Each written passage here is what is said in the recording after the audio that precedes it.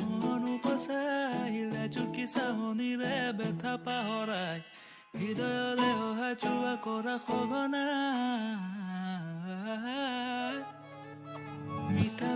কথাৰে মন উপচাইলে জুকি চাহনিৰে বেথা পাহৰাই হৃদয়ৰে অহা চোৱা কৰা সঘনা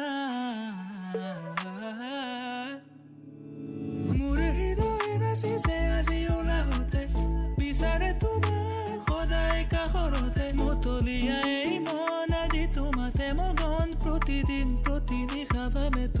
কথাকে মোৰ হৃদয়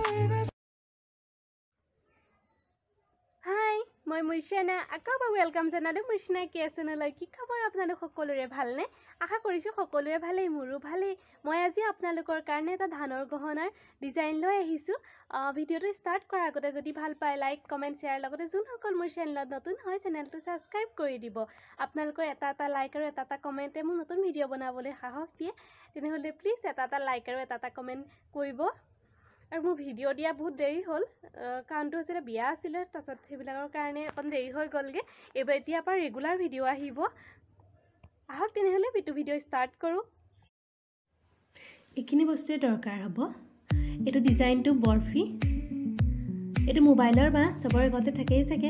এইটোতে প্ৰথম কাটি ল'ম। মোবাইলৰ বাঁহটো অলপ ডাঠ হয় যে সেইটো কাৰণে মোবাইলৰ বাঁহ হ'লে বেছি ভাল। কাটি লোৱা হৈ গ'ল।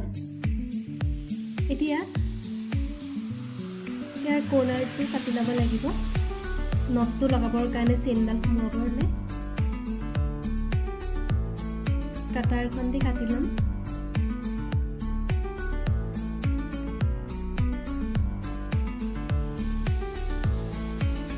কাটি লোৱা হৈ গ'ল। এডাল মই কাগজ মেৰিয়াই পেলাই বনাইছোঁ। সমান জোখত লৈ পেলাই বেজিটি ফুটা এটা সোমাই ল'ম। ফুলিত থকা ষ্টিকডাল ভৰাবৰ কাৰণে। এনেকুৱা বস্তুবিলাক যিকোনো বেজি ফুলি থকা দোকানত কিনিবলৈ পাই যায়।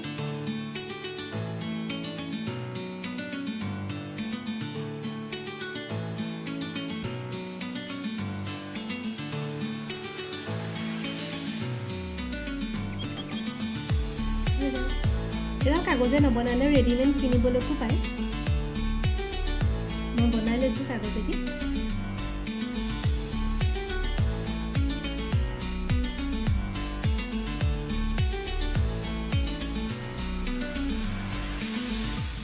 ফেবিকুইড দি পেলাই জইন কৰি ল'ম। হৈ গ'ল।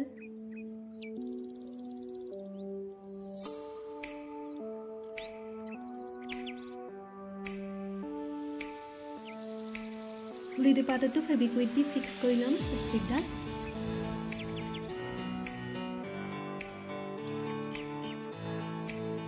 এইটো শিল্পকাৰ বুলি কয়। ইয়াৰ মাজত দুটা পেকেট আহে। এটাত ক'লা আৰু এটাত বগা। দুইটা অকণমান অকণমান টুকুৰা ল'লেই হয়। দুইটা মিক্স কৰিব লাগিব।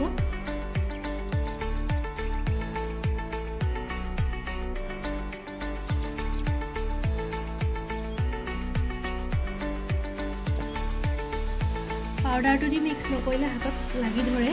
সেইকাৰণে পাউডাৰ দি মিক্স কৰিব লাগিব। পাউডাৰ দি মিক্স কৰি পেলাই বগা নোহোৱালৈকে মিক্স কৰি থাকিব লাগিব। মিক্স কৰিলে কৰোঁতেতো চফ্ট হৈ যায়।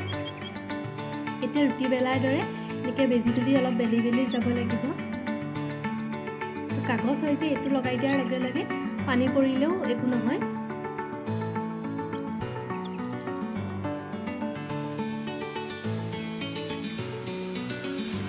হৈ গ'ল। এতিয়া বেজিটো দি ভালকৈ দিব লাগিব। তেতিয়া জইনবোৰ নাইকিয়া হৈ যাব। এতিয়া কোণাৰকেইটা ভালকৈ জোঙা কৰি কৰি দিব লাগিব। এইটোতে বিছ মিনিটমান থৈ গ'লে শুকাই যাব। এতিয়া ফুলিযোৰ ধান লগাই ল'ম। এইটো এতিয়া সৰু চাইজৰ ধান? জহা ধান লৈছোঁ মই। ল'লেই হ'ল সৰু চাইজৰ যিকোনো ধান।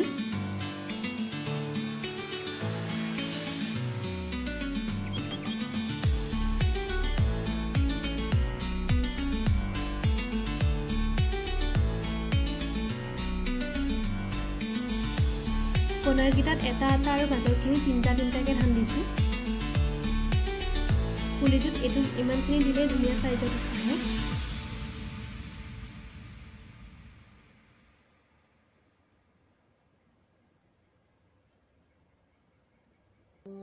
ইয়াত বহুত ধৰণৰ ডিজাইন বনাব পাৰি মই বৰফি লৈছোঁ।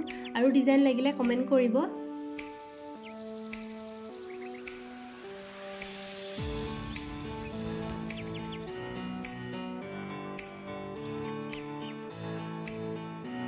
ছেকেণ্ড লাইনটোত কণাৰকেইটা এৰি বাকী ছাইডৰখিনি দুটা দুটাকৈ দি যাম। কণাৰ দুটাত ষ্ট'ন লগাম।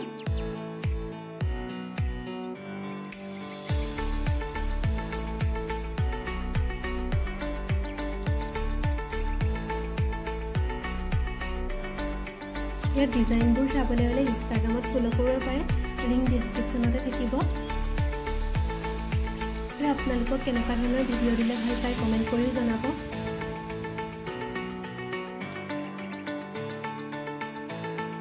ৰেডি হৈ গ'লে দেখিবলৈ বহুত ধুনীয়া লাগে কেঁচা সোণৰ গহনাৰ দৰে লাগে। এতিয়া লকেটটো বনাম। লকেটটোৰ কাৰণে ডাঙৰ চাইজৰ ধানটো লৈছোঁ প্ৰথম লাইনটোত। ডাঙৰ চাইজৰ ধানটো। এটা এটাকৈ দি যাম।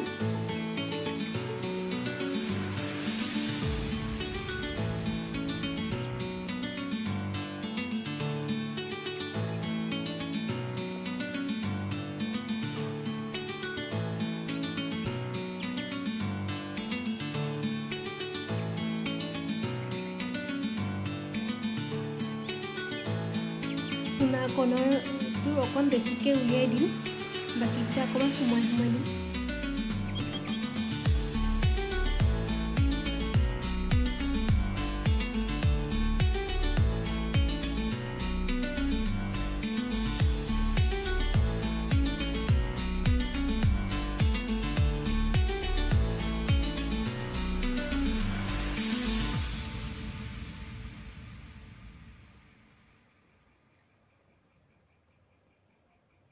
একেধৰণে এইটো ছাইডো কৰি ল'ম। এতিয়া দ্বিতীয় লাইনটো কৰিম।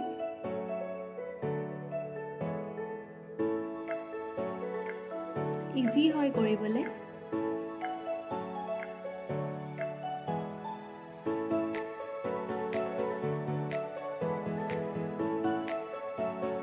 আৰু দেখিও ভাল লাগে আনকমন হয় যে।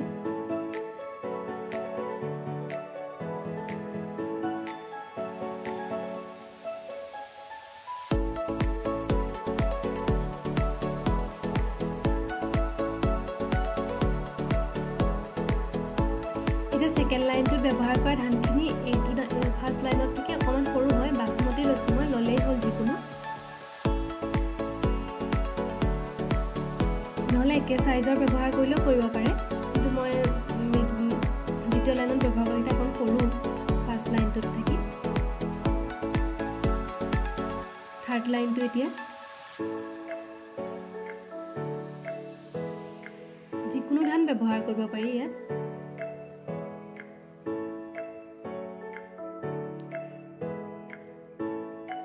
একেধৰণে চাৰিটা লাইন কৰিম। কোণাৰকেইটাত ধান দিয়া নাই খালী ৰাখিছোঁ সেইখিনি জেগাত ষ্ট'ন লগাম।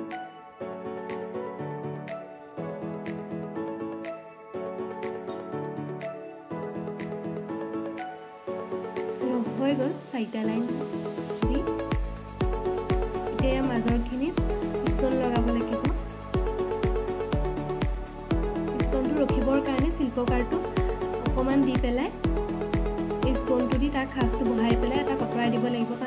কৰি পেলাইহে এইটো লগাম আৰু তেনেকৈ ফুলিযোৰটো সৰুকৈ লৈ পেলাই সেই ষ্ট'নটো বহাই দিলেই হ'ব হৈ গ'লে এতিয়া কালাৰ কৰিম এইটো গল্ডেন কালাৰ। এইটো ঘৰত কালাৰ কৰে যে প্লাষ্টিক কালাৰ সেইবোৰ সেইটো। কালাৰ কৰা দোকানৰ পৰা কিনিব পাৰিব যিকোনো। এতিয়া বাছডাল অকণমান ধুই পেলাই তাত পানী নৰখাকৈ শুকুৱাই ল'ব লাগিব। তাৰপিছত ইয়াত কৰিম এইটো এবাৰ কালাৰ কৰি পেলাই শুকুৱা ৰ'দত দি তাৰপিছত আকৌ দুবাৰ তেনেকৈ কালাৰ কৰিম তেতিয়া কালাৰটো ধুনীয়াকৈ ফুটি আহে।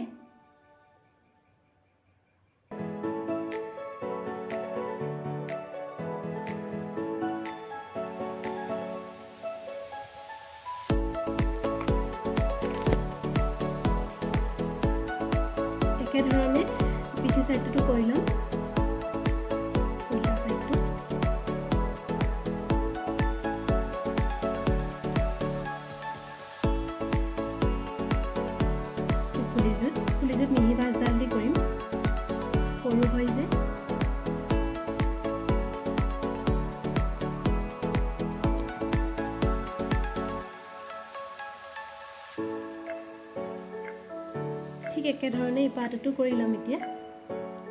কালাৰ কৰিলা হৈ গ'ল মই তিনিবাৰ কালাৰ কৰি ৰ'দত দি কৰি পেলাই এতিয়া ফাইনেল কালাৰটো কৰিম। মীনা গাঠাৰ ধৰণে ৰেড আৰু ব্লু দি পেলাই ফাৰ্ষ্ট লাইনটোত দি যাম। ব্লু ৰেড ব্লু ৰেড এনেকৈ দিম।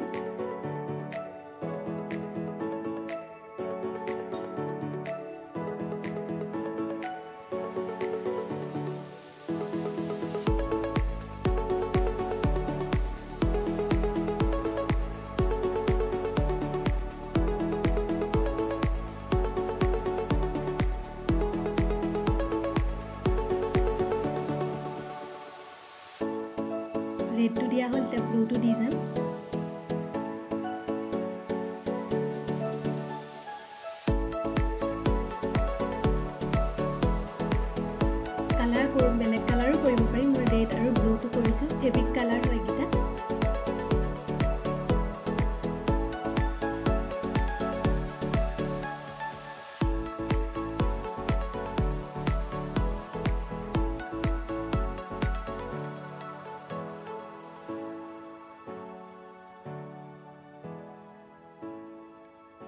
এতিয়া ছেকেণ্ড লাইনটোত তিনিটা তিনিটাকৈ ব্লু দিম তাৰপিছত কৰ্ণাৰটোত আকৌ তিনিটা দিম মাজত এটাত ৰেড দিম। তেনেকৈ চাৰিটা ছাইড কৰিম।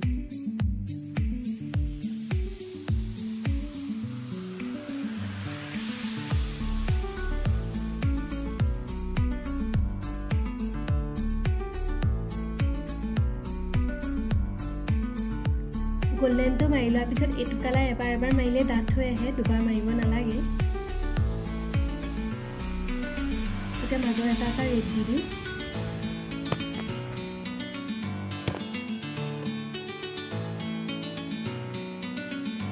এতিয়া থাৰ্ড লাইনটো ছেকেণ্ড লাইনটোত ব্লুটো বেছি হোৱাৰ কাৰণে এইটোত মীনা কাটাৰ নিচিনাকৈ অকল ৰেডটো দিম।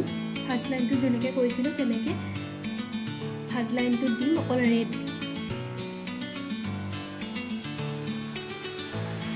চাৰিটা ছাইড একেধৰণে দি ল'ম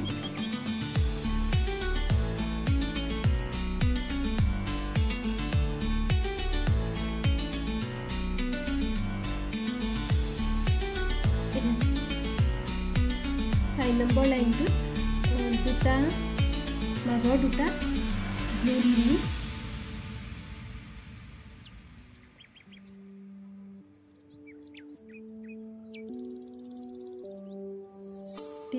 লাইনটো হৈ গ'ল। এতিয়া চাৰি নম্বৰ লাইনটোত মাজৰ দুটা দুটাকৈ ব্লু দি দিম। বাকীকেইটাত একো নিদিওঁ। গল্ডেনে হৈ থাকিব এইকেইটা। নহ'লে বেছি কালাৰ হৈ যাবগৈ।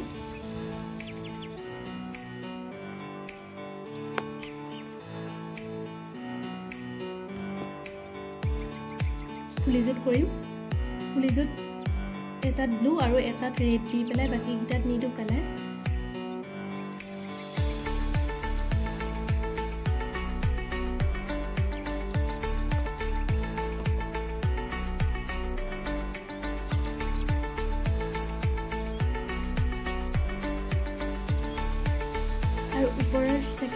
লাইনটোত যিকেইটা আছে সেই গোটেইকেইটা ব্লু কৰি দিম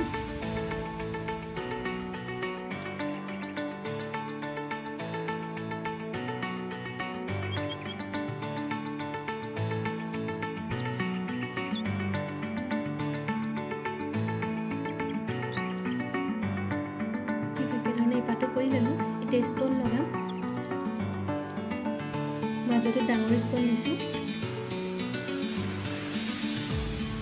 বাকীকেইটা সৰু চাইজৰ দিছোঁ।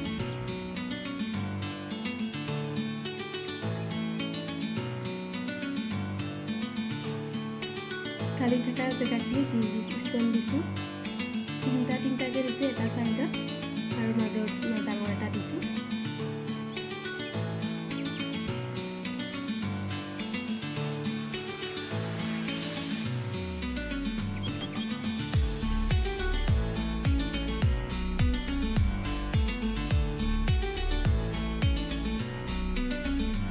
ষ্ট'ন লগাই পেলাই এনেকৈ শুকাবলৈ দিব লাগিব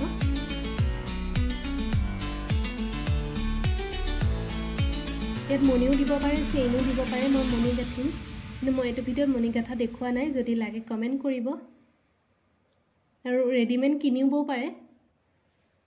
হৈ গ'ল এইডাল লিখিবলৈ বহুত ধুনীয়া লাগে। কেঁচা সোণৰ গহনাৰ নিচিনা হৈ পৰে। কেনেকুৱা পালে কমেণ্ট কৰি জনাব। আৰু যদি ভাল পায় লাইক কমেণ্ট কৰি জনাব। আৰু লগতে নতুনসকলে চেনেলটো ছাবস্ক্ৰাইব কৰি দিব। ধন্যবাদ ভিডিঅ'টো শেষৰলৈকে চোৱাৰ বাবে।